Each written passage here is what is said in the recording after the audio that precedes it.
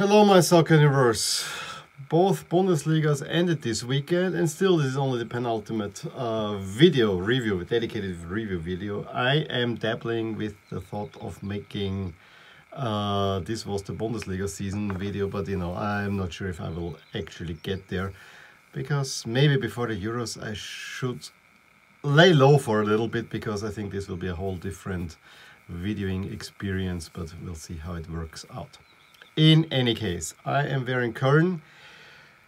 I'm not yet celebrating because, as they said, it's a very weird feeling when, yes, you avoided being dropped immediately, but you're still kind of in this limbo. You still have games coming up. So, uh, in relegation, it is Bielefeld that got saved. Uh, other than that, the big story in Germany is, of course, Lewandowski scoring the 41st goal in the 90th minute. I'll talk about that a little bit. And I think on the other one is Union Berlin actually making it into uh, the Europa Conference League. So for the first time ever, they will play uh, in Europe, which for them is probably the best thing that ever happened. And uh, fans were ecstatic about that. Uh, in Austria, um, yeah, let's go in the lower there is definitely Austria Vienna completely squandered their uh, opportunity to host at least the uh, playoff semi-final uh, in Ried. And yeah, the less I say about LASK, the better. The season is finally over. Fourth place. Not happy about fourth place, but at least fourth place. So uh, it is still a very, very, very good result. I have to remind myself, and in many ways, um, yeah, uh, probably reflects the season. Let's put it that way. Well, we'll start in Munich, uh, where everyone was the only thing that mattered there were actually the goodbyes to Hansi Flick, uh, Boateng, Alaba, and Javi Martinez, and of course the 41 goals and it was actually comically. I they played all for Lewandowski, but even though Bayern won 5-2, the goal came super, super, super late because uh, Lewandowski compatriot uh, Gikiewicz really saved everything that came his way and he kept missing, missing, missing. And they asked him, were you really um, annoyed at your compatriot? And he said, no, I was not annoyed. I was, uh, I, I felt, why is it not coming? Why is not not coming? I should score. As I said, in the 90th minute, the one mistake that Gikiewicz made, he drops the ball, it fall, comes to the level, level of Lewandowski who surrounds him and puts it in. Bayern Munich playing, of course, and for forwarding goals, there was not as much of a celebration this, this, this time around as it was for the 40, but you know, it was still one of those moments that uh, will live in Bundesliga history. Uh, it definitely, I definitely like that by the new Bayern jerseys. Although you know I don't like the new rollouts, but I think the Bayern away jersey will be a classic. Then uh, another big gesture at the end when they handed out the plate uh, Neuer was the captain, however, he immediately gave it to the three players that will leave uh, now at the end of the season, as I said, Boateng, Alaba and Martinez, and they, the three of them lifted uh, it, it, together, which I thought was a nice uh, way of ending it. But I think everything, everything. I mean, I watched the conference and they, uh, yes, they switched to goals here and there, but it was all about three games. It was Bremen Gladbach, Köln Schalke, Stuttgart Bielefeld. In Bremen and Köln, fans uh, really supporting their, their team coming out. Unfortunately, in Köln, it uh, resulted in some riots as well, but tension was high uh, especially in Bremen, and it did not get better. I mean, as I said, they fired uh, the coach Kohfeldt, and uh, came, came in from the glor glorious, but what can he do? And Bremen was a team that I think was, after the first round, they were in 16th, but they looked in the 24 after the 24th round, I think this was uh, February, they looked safe. And then the 10 games in a row, they are not winning winning. And um, yeah, it didn't start well with uh, Gladbach, who still had a, a hope for Europe. Um, Stindl giving them the lead in the third minute. Um, and you know this was all this, this was the only uh, place where stuff was happening at that moment um, but Bremen actually came up and had a huge chance through Davie Selke where um, Sargent gets himself free. He sees Selke, uh, who they had a must-buy clause if they uh, manage uh, to stay in. They give him, he gives him the ball, and he scuffs the finish directly at the goalie. If that one goes in, he just has to put it a little bit wide. He's in the middle of the goal, free ahead of the goalie. And you could see the nervousness creeping in there. And that was kind of the moment where Bremen broke a little bit. Uh, the next thing that really happened was that Stuttgart actually scored a goal uh, through Kalajdzic, um, which honestly, before that, I was hoping that just because Bremen and Köln are two of my favorite teams in Germany. I was hoping that Stuttgart wins against Bielefeld and both uh, Bremen and Köln uh, get results. However, the goal for Stuttgart is disallowed. And I have to say, Bielefeld really gave it all. They had a big chance through Doan uh, that was just by the head, head of a defender uh, put onto the post, and Bielefeld played the hearts out. And with the smallest budget of the league, there's a, there must be a lot of sympathy going towards Bielefeld as well. I know there's a Bielefeld conspiracy. Local, look it up. So I really, uh, I, feel it also with them.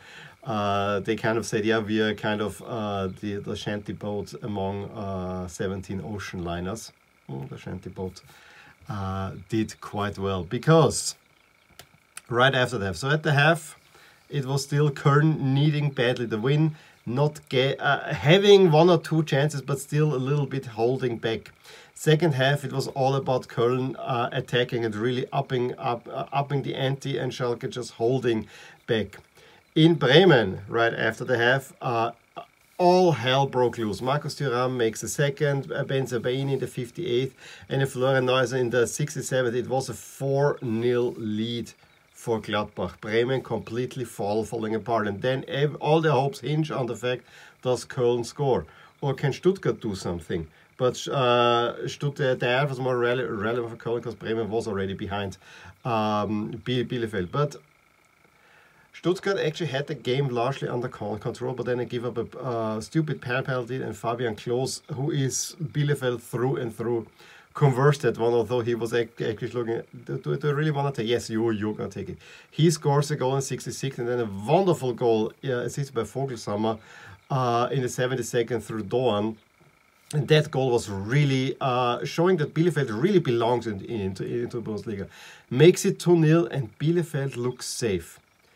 And at that point, all the attention went to will Köln score the one goal that they need and put uh, Bremen for the first time in 41 years down. A lot, lot of for, for 41s, they went down into the second uh, Bundesliga. And the goal came through Andersen, and then it got disallowed for a very, very questionable. Uh, I think it was a block call or whatever. It was not, not even, even offside, but a player that offside blocked a uh, Schalke player. I'm not sure the Schalke player could, could have done anything to avoid that goal. So I, I found this rather, rather questionable. But at that point, Köln had really already absolutely pressing, really getting some uh, chances. And uh, it also has to be said that um, when uh, Bremen suddenly was losing that many goals. It could have been even enough for Köln uh, if it ended 1-1. I mean, there could have been an eight-goal swing happening, but you know it was unlikely. But it became an, uh, a talking point. However, then finally Bornauw gets the goal in the 86th minute. Um, huge celebrations in Köln. Uh, Schalke pulled the goalkeeper Fährmann, who had a pretty excellent game uh, tried to score a goal, but Köln can hang on to, to the win. And at the same time, uh, in around the 80th, um, Werder was about to put goals back in uh, because um, Rose saw that the game is safe, so he took out uh, Lazaro, Thuram, and Stindl and brought on uh, players that he wanted to uh, get some e experience. And so Rashica and Füllkrug, and this was already before the current goal, put back two goals. So uh, was there a comeback coming? No, there was no come, comeback coming, and Bremen is relegated. And I have to say, if I look at my, I always say my four favorite teams in Germany are Stuttgart, Köln, Bremen, and Schalke. Two are already down, and I might lose a third uh, team. So a pretty bad season for me, but I have to say, to be fair, I was actually when you then see, uh, look at it uh, kind of uh, from a neutral perspective. Bielefeld staying in is a, is an amazing story. Schalke was down and out all the time. Uh, Bremen was caught because Mainz made a comeback for the ages. Also a team where I thought, yeah, I'm, I'm, I'm okay with Mainz going down. Honestly, no. They completely deserve to stay in uh, and the Bundesliga is better for Mainz being in there. And the way Bremen was already uh, failing last season almost and then this season again, uh, I think it is deserved, the outcome and we will have uh, we have potentially second league uh, with many big names. We have Nürnberg in there, we have Hamburg in there, we have Schalke in there, we have Bremen in there, and probably none of these will make it up to the Bundesliga next season. That's uh, another thing. But I would say one of these will make it. I gotta finish with Union Berlin um, playing Leipzig. Um, spectators in the stadium, and if you haven't seen the Alte Försterei Stadium, it's three sides standing room. It's it's a it's a great stadium. It's uh, Union is also a great story. I know in Berlin I'm a little bit more Hertha, uh, definitely because of the history, but there's something really uh, charming about Union Berlin. And uh, they play against Leipzig for 50 minutes. The fans did not support because of Leipzig. This is a monster that has to die, uh, they said, and sterben is to die in uh, German, and there's of course RB in there, and they put that sign there. Uh, in any case, Leipzig got the lead in the 55th, but then uh, Friedrich after Trimmel um, corner, I, I, think gets equal in 67th, and Leipzig was really pressing forward, uh, playing in very colorful color, away jerseys, which actually look a whole lot better than the current home jersey, but same design. Uh, and just when you thought that Leipzig is gonna snatch that win and Union will lose the spot in stoppage time, Max Kruse gets the winner, heads it in. Uh, really great scenes after lot, lots of people celebrating, and many said this was probably the one team that the one team where the Europa, Europa Conference League is a real reward is of course Union, and I totally agree with that. They are absolutely happy now you have to worry for the next next season. They will have uh, midweek games, which is something they're not used to. You might worry about them for going down next season, but uh, two seasons in a row. A that they came up was a sensation. That they stayed up last season easily was a sensation, and now they go up. They are a really well led team, and I really hope they will stay in the Bundesliga because I think two Berlin teams fit uh, the Bundesliga very well. So here it is, final standings. Uh, Mainz finishing in 12th. They were 17th with, uh, I think, only seven points at the halfway point. Absolutely amazing. Uh, up top, not, much changes, and Köln just leapfrogs uh, Bremen to go into relegation. I put them now at 50 50% because it's a playoff. And uh, yes, I know the, the opponent, they, uh, they have probably now a 65% chance given. I just put this just as a number because it's a half spot. So uh, don't take this um, pro probabilities um, by face value. As I said, there is re relegation. We have two teams coming up. This was also a little bit uh, exciting yesterday. Um, we have coming up uh, Bochum, team that has some Bundesliga history, but they're also they're the, the classical yo-yo team. And Greuther Fürth for the second time. I didn't even realize they have been up there, uh, which is from the Nuremberg region, uh, the big rival there. So that will be in, in, interesting. Two smaller teams, and then current place Holstein Kiel, and no team ever from Holstein made it to the Bundesliga. And with Bremen and Hamburg down, now the northernmost team currently is Wolfsburg, as far as I know. Uh, Holstein Kiel would actually occupy that spot. Of course, I personally hope the Köln will make it. The games are Wednesday and Saturday, um, Europa League final and um, Champions League final days. So that's why the early kickoffs. I watched last season a, a, relegation. It just got exciting late on when there was a little bit. It's not great. They are not great games. There's so much fear in there. Briefly, Austria. As I said, Austria Vienna just wanted to win to have a home game against Hartberg for the um, conference playoffs against the fifth place team from up. They had a 2 0 lead in the 56th minute. Uh, and then uh, coach Peter Stöger actually brought on some veterans to see this home. By the 79th, Grüll makes it 1-2 and then everything goes pear-shaped. Bajic in the 89th and then in stoppage time, Ried turns it around. 3-2 win for Ried and Austria win, losing their, uh, not winning the group. Uh, the, uh, the, the um, they, they, call the qualification group because of the Euro. There's one we have a chance to get into Europe. Um, the other games we have Rapid beating Lask. Uh, I didn't watch anything from the game. I was happy that uh, Sturm Graz turns around against Wolfsburg because they were 1 0 down at the half. So if Wolfsburg would have won they would have leapfrogged Lask. So at least fourth place. Salzburg celebrate the championship with a 4 0 over Tirol.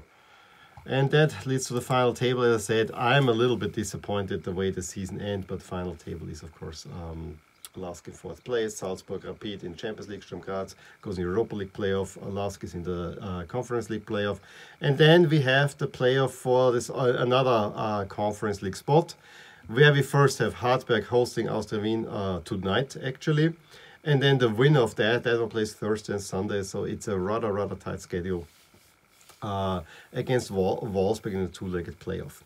We also have uh, Linz. There's one good news for Linz. Unfortunately, it's the rival that Blau-Weiß Linz, blue and white Linz, uh, win the second league. However, they decided, and I know why, because there's no stadium at the moment in Linz, that's a whole other story, uh, to not get promoted. Liefering, uh, the second team of uh, Red Bull, cannot get promoted, so it was between the third and fourth place team where Klagenfurt pipped Innsbruck just in the last second, and now they play the playoff against St. Pölten. I honestly don't know who I should actually root for. It would be nice to have a team from Kärnten in there, however, St. Pölten is so conveniently located just close to Linz, and I actually think they would deserve to be there from Lower Austria. I have more problem with a team like Admira, who have absolutely no fans whatsoever. So that's what's coming up in Austria. We will make one last video on these games um, next weekend. In any case, please let me know what you thought about the finish to the Bundesliga uh, in Austria. If you saw uh, any, any, anything there, have any opinion there, give me a thumb up if you enjoyed this video, subscribe to my channel if you want to see more, and I will talk to you soon. Bye! Hey there, I really hope you enjoyed this video and if you did, here are some videos and playlists that you might enjoy too. Also, please consider subscribing to my channel and click the little bell icon as it will remind you whenever something happens in my soccer universe. And with that, have a wonderful day. Bye.